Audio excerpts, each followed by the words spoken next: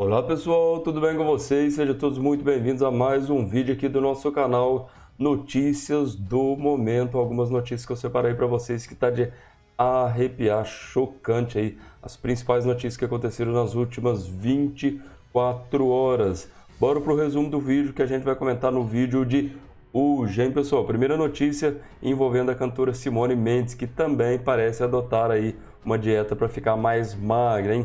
Será que vai pegar? Será que essa moda pega aí todas as artistas querendo ficar magrinha como a Maiara? Falando da Maiara, cantora Maiara também, a gente vai estar comentando sobre uma notícia sobre a querida cantora Maiara, né?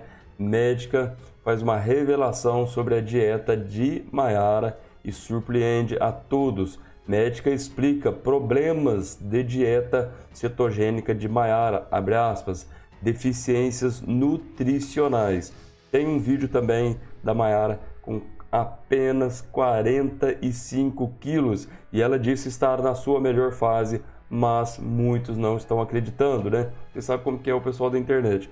E outra coisa também, nossa homenagem a uma querida cantora, um astro aí da música, uma querida artista, uma grande cantora conhecida mundialmente que acabou falecendo. Vou dar detalhes para vocês já já neste vídeo.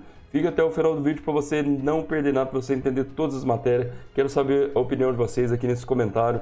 Pedir para você que ainda não é inscrito em nosso canal, curte esse tipo de conteúdo, já se inscreve aqui embaixo, ative o sininho de notificações, senta o dedo no like, compartilhe o nosso vídeo com mais pessoas. Já vai deixando as suas opiniões aí é, dessas matérias que eu vou comentar com vocês. A primeira falando sobre Simone Mendes, depois sobre Maiara e depois a cantora que faleceu, combinado? Fique até o final do vídeo. Tem um videozinho também da Maiara bem magrinha que ela acabou de postar, eu vou colocar aqui na tela para vocês.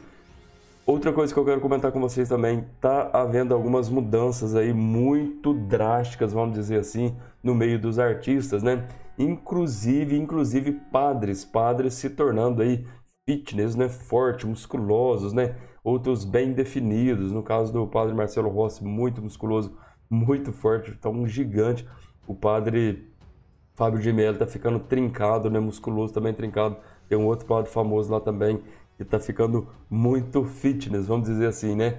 E algumas inversões, né? Alguns casos meio que inverteu. O Eduardo Costa, que era bem forte, bem bombado, musculoso, tá, né, magrinho, fininho mesmo assim, a galera até critica ele também, tá criticando ele, dizendo que ele tá muito, muito mal acabado. Eduardo Costa, tá pessoal? Mas vamos falar um pouquinho sobre a Simone Mendes, que também parece que perdeu 30 quilos. Absurdo que é isso, meu Deus.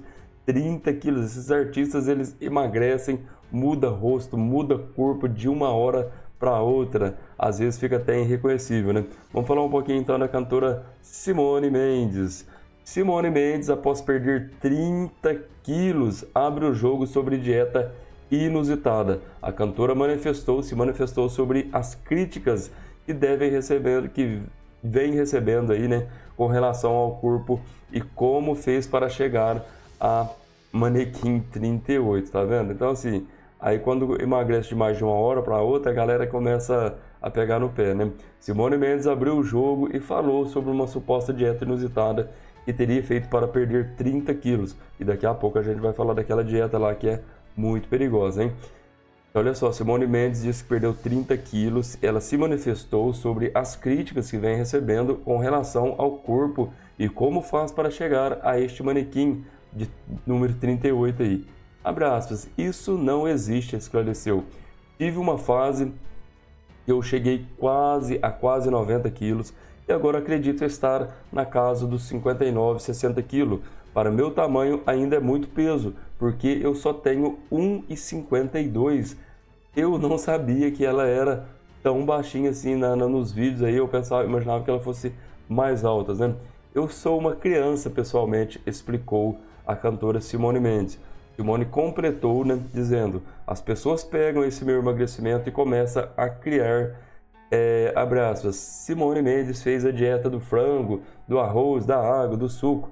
Eles usam muito a minha imagem. A sertaneja lembrou que costuma, me, é, que costuma medidas o, ju, meu Deus, que lembrou que costuma medidas judiciais cabíveis, né, para que o nome dela não fosse, é, não fosse usado sem autorização dela. Só que ela disse que é bem difícil porque é uma legião de gente que usa minha imagem a todo tempo, né? A gente vai contra, a gente processa, mas é bem difícil, lamentou ela.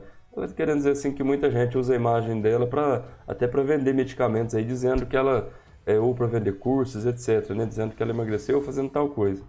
E por fim, Simone Mendes fez um alerta aos fãs para não acreditarem em tudo que falam na web. Não acreditem, pelo amor de Deus, isso não existe. Finalizou em conversa para o portal Léo Dias.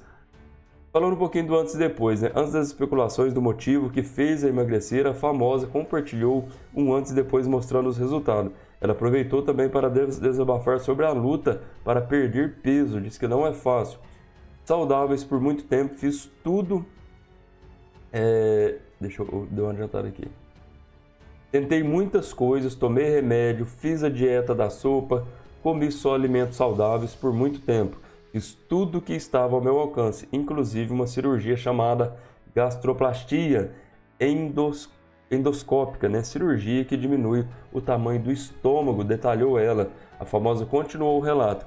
Eu perdi na época uns bons quilos, mas infelizmente, como não é algo para sempre, eu voltei a comer e a engordar, disse a cantora. Tá aí, pessoal, o que vocês acharam? O que vocês, o que vocês acham dessas dietas e desses esses artistas emagrecendo tanto assim tão rapidamente, né? Mas ela disse que não é para acreditar em tudo, né, pessoal? Que nem tudo é verdade que rola na web. As galera, a galera às vezes até usa a imagem dela para fazer esse tipo de propaganda, né? Dizer que ela emagreceu com X, com X curso, com X dieta para tentar vender aí o seu o seu peixe aí na internet. Não pode acreditar em tudo, como ela mesma disse, tá, pessoal? Vamos agora para nossa próxima notícia. Deixa uma notinha de 0 a 10 para a cantora aqui embaixo, tá? Vamos agora para nossa próxima notícia, uma polêmica, né? Gente, desde de que a Mayara resolveu a, a ficar mais magra, né? Fazer essas dietas aí, tá virando uma polêmica, tá dando um bafafá na internet que vocês sabem como que é. Toda semana tem, vem uma bomba e vem alguma coisa né, sobre a cantora. E agora não foi diferente, mais uma, vou estar comentando com vocês, tem um vídeo que eu vou colocar na tela também. Eu vou pedir para você que ainda não é inscrito em nosso canal, se você curte esse tipo de conteúdo, já se inscreve aqui embaixo, ative o sininho de notificações, senta o dedo no like, compartilhe o vídeo com mais pessoas. E, claro, né, a perguntinha que não quer calar, vocês acham que Mayara passou um pouquinho do ponto, né, acabou emagrecendo um pouquinho demais? Qual a sua opinião? Deixe aqui nos comentários. Vocês preferiam ela quando ela estava mais cheinha ou agora bem magrinha, né, magérrima, né? Tem um vídeo aqui que eu vou colocar na tela para vocês. Mas antes do vídeo, vamos falar sobre a dieta dela ali que uma médica, né, a doutora, acabou explicando. Médica explica problemas de dieta cetogênica de Maiara, abre aspas, deficiências nutricionais. Em entrevista a Caras Brasil, a nutróloga Cibele Spinelli fala sobre a dieta adotada pela cantora Maiara e faz alerta sobre o método de emagrecimento, tá pessoal? Então olha só, fique ligadinho, preste atenção. Maiara, cantora que fez dupla, faz dupla né, com a Maraísa, adotou dieta cetogênica e tem preocupado alguns fãs pelo emagrecimento considerado extremo. Em entrevista a Caras Brasil, a nutróloga Cibele Spinelli explica, né, ela explica problemas de dieta adotada pela famosa, disse sobre o, a deficiência nutricional. Né? Spinelli explica que quando, a, quando mantida por períodos prolongados, a dieta adotada por Mayara pode se tornar prejudicial sim, tá?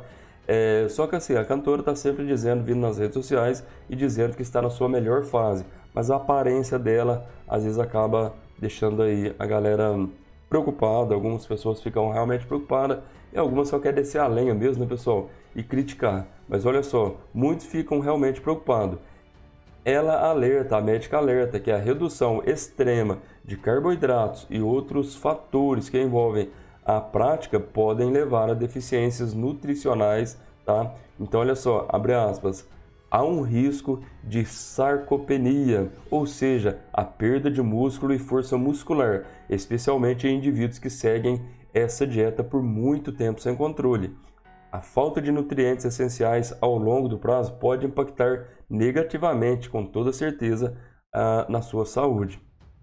Mayara também revelou aí é, se é possível ser amiga de ex após climão com fã, né? Curar feridas. Mas a gente não vai falar sobre isso. O negócio aqui é a dieta cetogênica, tá, pessoal? Pode, então pode sim ser prejudicial quando mantida por período prolongados. A restrição extrema de carboidratos e a possível carência de nutrientes como, como vitaminas podem sim levar a deficiências nutricionais, acrescenta a especialista, tá pessoal? A Spinelli explica que a dieta cetogênica é um tipo de alimentação e a, a quantidade de carboidratos ingeridos é muito, muito baixa. E enquanto ali a de gorduras é muito alta e proteínas é moderada. A prática foi adotada pela cantora Maiara, tá? Segundo a entrevista aqui na Caras.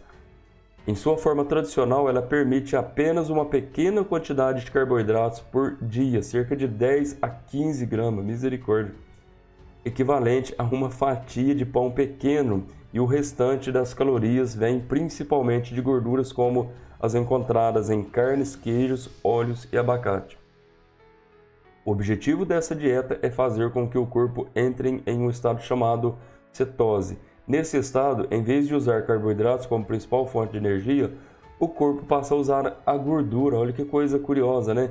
Esse processo pode ajudar na perda de peso e melhorar alguns aspectos da saúde. Porém, uma estratégia que deve ser feita por um curto período de tempo, completa a, a médica e a especialista, tá pessoal? Então não pode manter isso por muito tempo e acaba correndo sérios riscos, né? Dessa tal sarcopenia, né? É, acaba ficando mal aí com essas faltas de nutrientes, né, pessoal? Deixa eu colocar agora aqui na tela para vocês, colocar, ou vou tentar colocar um trechinho do vídeo para vocês que estão tá chegando agora, deixa eu ver se eu consigo colocar. Vamos lá, acho que dá sim. Vou colocar um trechinho do vídeo agora na tela, o Mayara que disse que tá o vídeo que ela fez ali bem magrinha, né? Eu quero a opinião de vocês. Deixa eu colocar aqui na tela. Vamos lá. Preste atenção, já vai comentando aqui embaixo o que, vocês acham. Olha só. Né? Olhando as coisas novas. Gente, eu não sabia que cacto dava flor linda desse jeito, não. Não. Você sabia disso, Carol? Sabia. Ai. Tem uma flor mais Até cacto da flor linda desse jeito. Tá vendo, gente? Isso é uma metáfora, hein? Até os cactos dão flores. Até os cactos E lindas. Como é que é? Até os cactos florescem. Até os cactos florescem. Gente, esse sol, eu vou lá, eu viajo, viajo, viajo. Mas igual o sol daqui não tem, não. Oh! Cheguei, Brasil! Toma meu café! Saudade de tomar um café daqui. Hum. I love Brazil! Começou a Carol já. Ela começou já daquele jeito, né, gente? Olha, alguém já reparou na minha mancha de nascença que eu tenho? Carol já começou daquele jeito, metendo a agulha. Ah, sim, lá vai ela. Lá vai ela com as agulhas.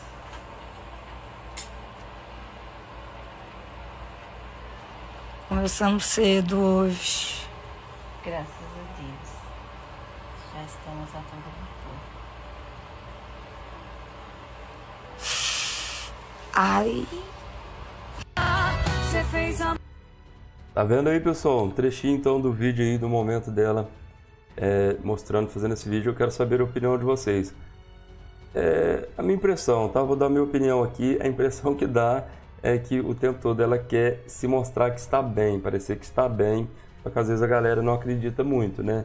Às vezes até nos próprios vídeos, nos seus stories aí, como a gente acabou de ver, ela parece que dá uma leve impressão que ela está forçando um pouquinho para tentar dizer que está ótima, que está na sua melhor fase. Às vezes até acaba dá uma impressão, tá, pessoal? Dá uma impressão aqui que ela está às vezes até forçando um pouquinho. Muita gente acha que ela não está bem nada, tá? Não sei, tomara que esteja bem sim, realmente, que Deus dê muita saúde para ela, né? Que ela fique bem de verdade, que ela esteja bem de verdade. Qual a sua opinião? Comenta aqui embaixo. Bora para nossa próxima notícia agora. O vídeo não ficar muito longo, acabei me enrolando um pouquinho aqui com o vídeo dela aí na tela para vocês. Uma homenagem agora a uma grande cantora, uma querida artista que acabou falecendo. O nosso luto de hoje nas notícias que eu preparei para vocês. Uma grande cantora, uma grande artista que acabou falecendo, hein, pessoal? Mais uma, né? Meu Deus, essa semana, semana complicado.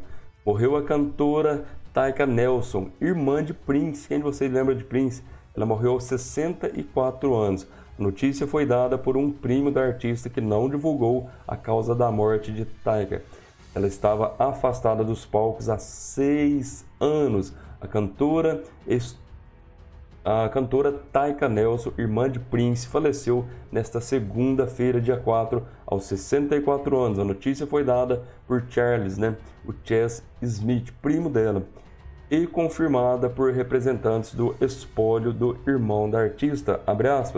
É com enorme tristeza que a nossa família informa que a minha prima Taika Evelyn Nelson morreu nesta semana, escreveu Chaz, e não especificou a causa da morte da cantora, que estava afastada dos palcos desde 2018, tá? A carreira de Taika começou em 1988 com o lançamento do álbum Royal Blue. Em 1992, a cantora lançou Yellow Moon Red Sky, seguido por A Brand New Me, de 2008. O último disco dela foi Rusty, de 2011. Taika havia planejado tá, um show de aposentadoria para junho do ano passado, mas o evento foi cancelado devido a problemas de saúde da cantora. Aspas, Estou ficando mais velha, eu realmente não era uma cantora, eu sou uma escritora. Acontece que eu também sou capaz de cantar, eu gosto de cantar disse à época ali, né, a uma revista famosa. Fica aqui o nosso sincero sentimento a todos os fãs e familiares da querida cantora Taika Nelson, que nos deixou aí, faleceu aos 64 anos. Bom, pessoal, a gente vai ficando por aqui. Deus abençoe a vida de cada um. Forte abraço. Fui!